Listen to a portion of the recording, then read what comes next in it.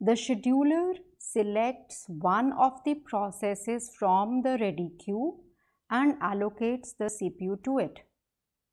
So, which algorithm or which scheduling criteria should the scheduler use so that the system performance is the best?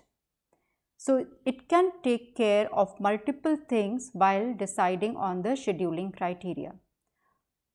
One of them is CPU utilization. That is the algorithm that is being used, is it keeping the CPU as busy as possible? Now theoretically the CPU utilization can range from 0 to 100 percent. 0 means nothing, the CPU is sitting idle and 100 percent that means the CPU is being used all the time. But in a real system, it actually ranges from 40 percent for a lightly loaded system to 90 percent for a heavily loaded system. The one of the other criteria would be the throughput. What is throughput?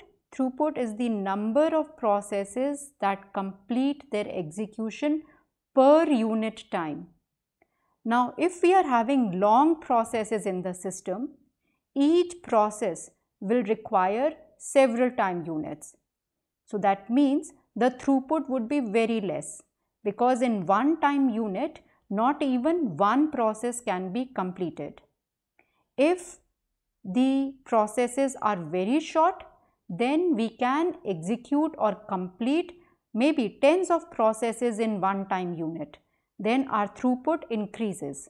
So, throughput is the number of processes completing execution per unit time. Another scheduling criteria could be the turnaround time.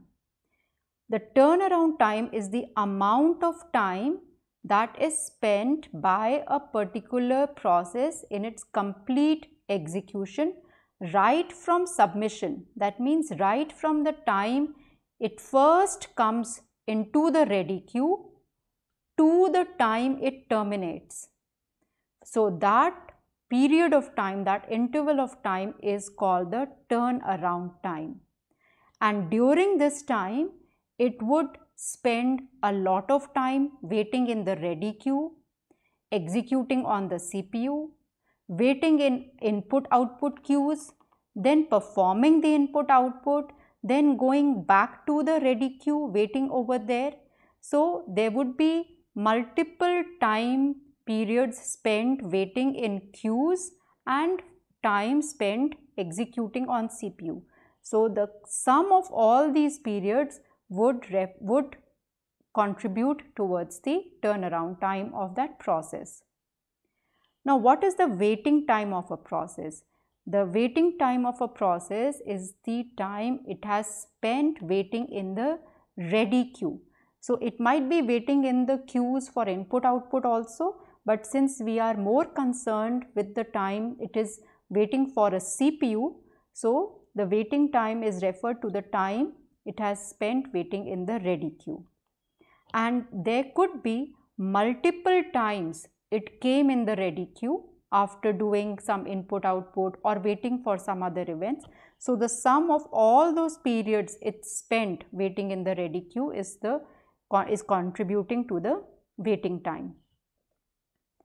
Now, we know that the turnaround time is the time when the process first came into the ready queue and it spent multiple times doing the run and the wait and finally it terminated.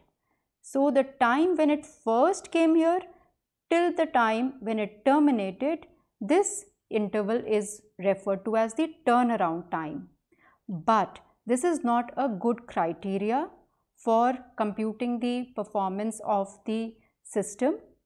Maybe we can also see that till from the first time it came to the ready queue till the time its first response was produced.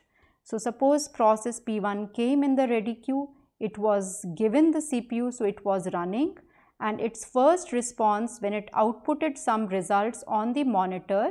So, it went for an input output and it output some results on the monitor.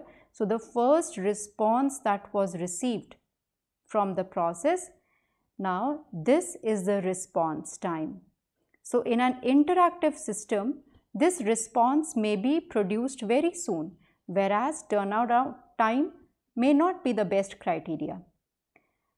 So in some systems, we utilize the response time as the scheduling criteria. It depends upon the application.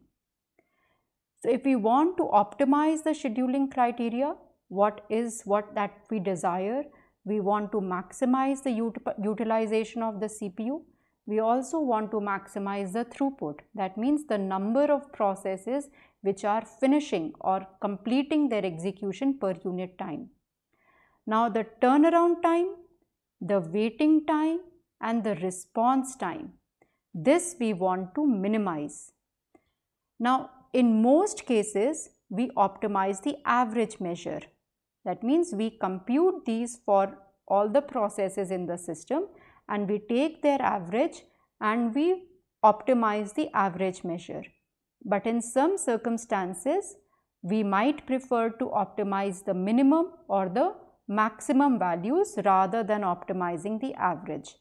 Like for example, if we want to guarantee that all users get a good service, we may want to minimize the maximum response time. That means whatever was the res maximum response time of any process, we might want to minimize that.